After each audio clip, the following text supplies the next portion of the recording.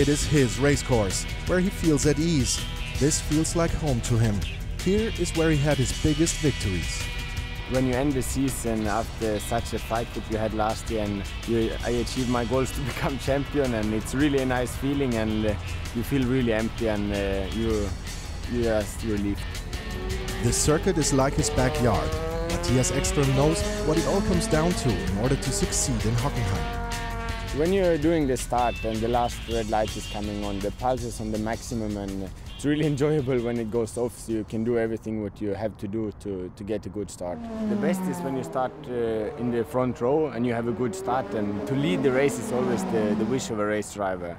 And uh, if you're not, just to be in the first uh, four positions is the dream. Cool and always alert. Ekström, the clever Swede. This corner doesn't matter if it's uh, the first race of the year or you're fighting for the title. It's a key point to have a good first lap in the race. Ekström knows his course.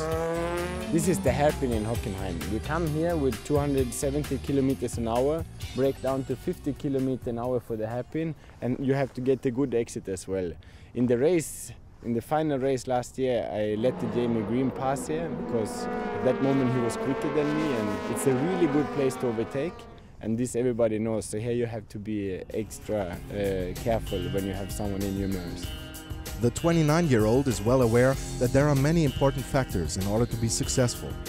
It's always nice to have my family. My mother and father are always coming and watching the races and uh, once in a while some friends as well. And it's always a nice feeling when they come and watch the race. To become a friend and uh, have some private uh, conversation with drivers, I think it's very difficult. And uh, I have uh, one friend in Martin Tomczyk, and uh, except of him, I have none. Likeable and down to earth.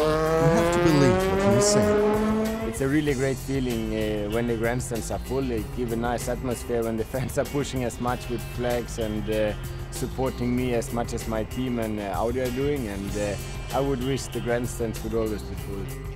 Ekström, the champion of 2007, he's always appreciated because he's always all out.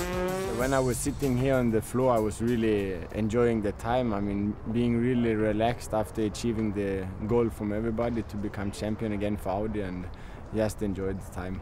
It all starts in Hockenheim on Sunday. How the race is won is something he already knows.